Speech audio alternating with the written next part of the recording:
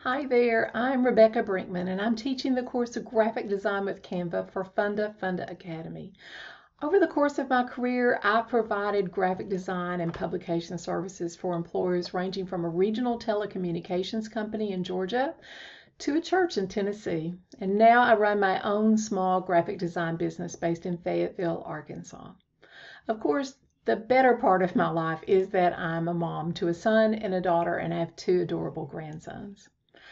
I'd like to tell you why I created this course.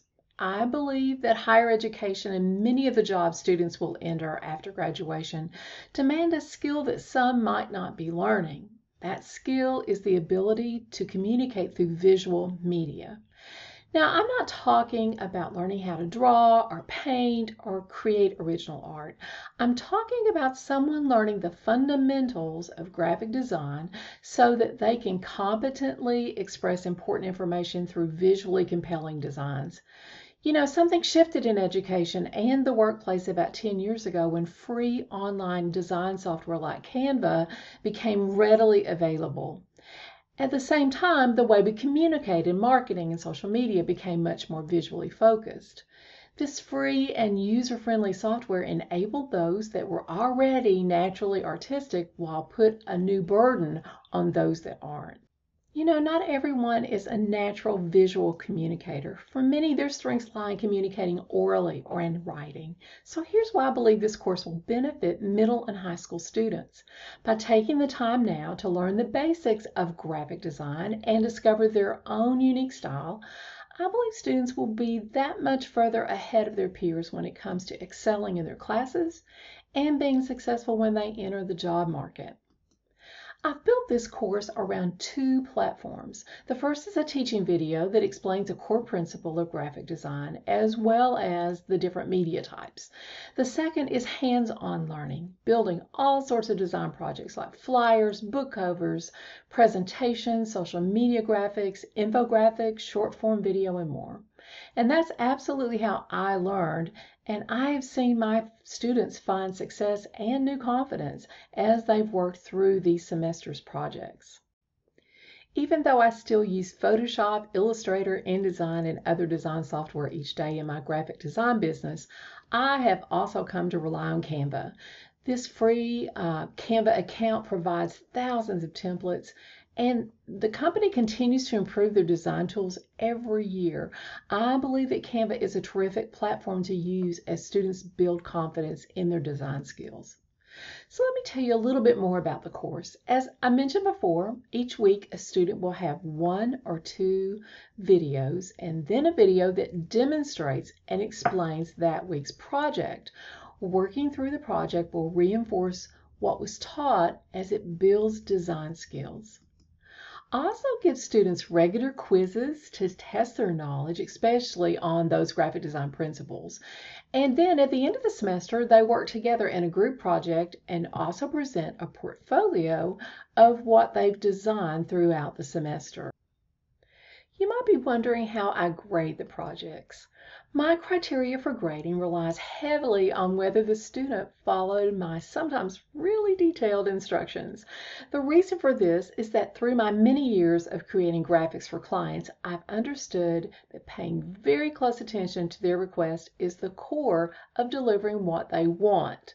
This is a core skill that I want students who complete this course to carry with them. I believe that it will benefit them in many different parts of their lives. Giving feedback to my students after projects is also very important to me. After each project, I explain what might have gone wrong, as well as highlight what improvements they've made. Because I'm not in the classroom with them, I really treasure this opportunity to give them as much input from my own experience as I can. So let me give you a quick overview of the syllabus to see what the course offers through the semester. The syllabus is available on this course listing on the Funda Funda website, so you can open that up and download it if you need to and just take a look at that and see what you think and then contact us if you have any questions. So let's take a look and see what's coming up in the course. Uh, the first week is just an introduction. Um, I go ahead and get them right into the principles of graphic design. I get them set up with that free account on Canva and then they actually go ahead and create something.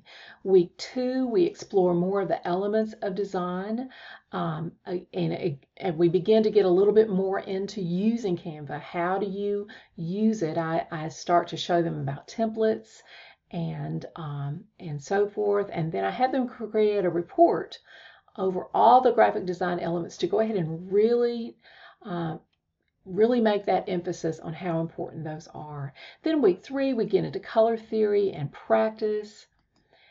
In week four, we jump right into typography, which is a really important part of graphic design. You may think graphic design is just art, but for businesses and in schoolwork, the typography is also very important too to communicating. So we get into the basics of typography in week four. And then in week five, we have a little fun and we look at creative typography. I'll have them look out into uh, sources of media that are available to them to find some inspiration and just show them how creative typography can be. Week six, we really get into the heart of graphic design with layout and composition. Layout and composition involves how everything is placed on the page. They will learn why, why different configurations um, are better communicators and so forth. Week seven, we continue with layout and composition. We talk a lot more about layers and how important learning how to layer different elements is. And um, one of the fun projects there is, it's one of my favorites through the semesters is to create an ebook cover. It's my favorite because the students have to choose everything about the cover from the title to the author's name to how they illustrate what that book's about with their art on the cover. So that was a lot of fun. Uh, week eight, we get into branding, which is very important when a student works for a company or even if they're presenting themselves. Branding is very important. We talk about all those different elements.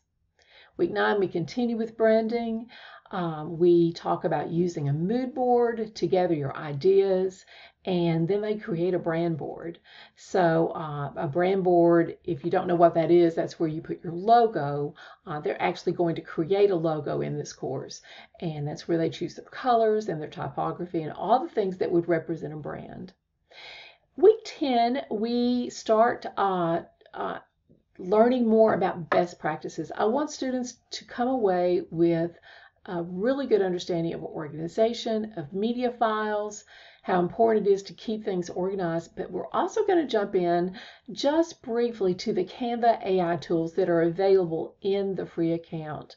Um, there are two, Magic Design and uh, Magic Write, I believe, and we'll be starting to um, unpack for them how they can use generative AI to create, uh, and that's that's using prompts, that's using imagery, and so we'll we'll talk a little bit about uh, the AI elements of Canva that are available. We'll also talk about best practices and ethical practices for AI. Week 11, we have a lot of fun with animation and short form video, two of my favorites. Week 12, we cover a very important learning skill, which is creating presentations. Your students may have already created presentations, um, and they're not always easy. So we really, but using everything they've learned up to this point, uh, the layout and composition and all of that, they're going to pull that all together into presentations. Week 13, we talk about ethics and copyright law, and to uh, demonstrate that, I have them create an infographic. Now, week 14, we start to hit into the home, we get into the home stretch of the semester. I teach them about using a whiteboard, uh, especially in collaboration with other students because they're going to work into a team project. In week 15, they finish their team project they start working on their portfolio, and then in week 16, they finish that portfolio. So I hope you'll keep this course in mind for this semester or next. I really believe what students learn in the course will benefit them in school and later on in the workplace.